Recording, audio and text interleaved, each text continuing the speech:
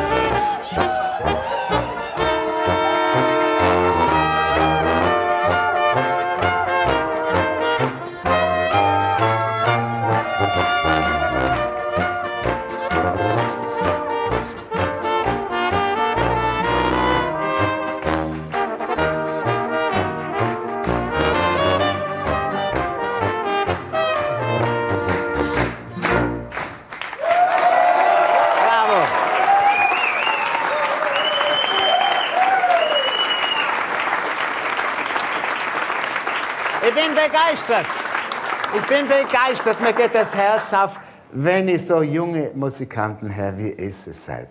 Und ich habe sie gerade im Herbst in Innsbruck beim Alpenländischen Volksmusikwettbewerb das beste Prädi- Prädikat ausgezeichnet erspielt. Äh, mit Recht. Und das ist großartig. Was danach kommt,